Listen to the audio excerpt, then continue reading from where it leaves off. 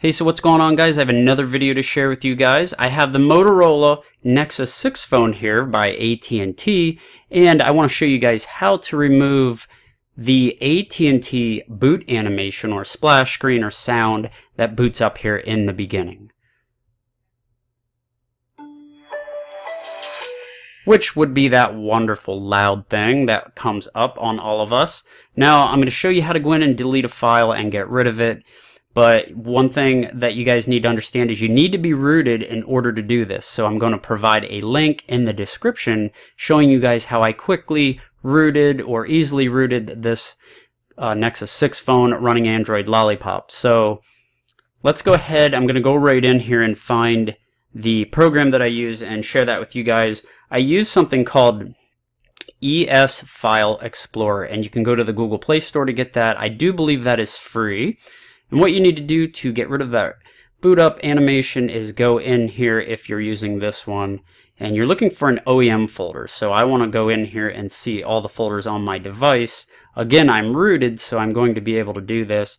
And you want to go to OEM and then you're looking for media and you're looking for this file right here that says bootanimation.zip. But before we do that, I want to go down here and I need to turn on Root Explorer.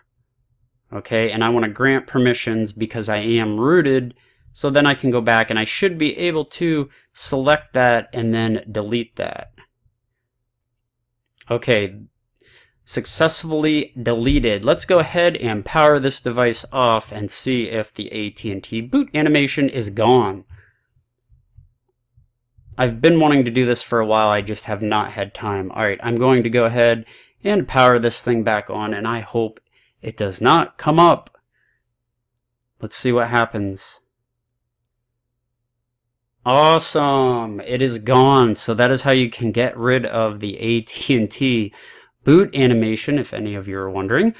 Click on the link in my description so you can see how I easily rooted this device and then you can go in and do exactly what I did there and remove that wonderful boot.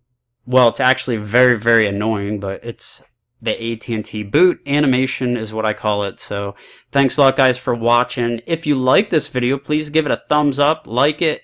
Make sure you guys share this video and so everyone else can, you know, get rid of that annoying boot up sound. Thanks guys for watching. Have a good one.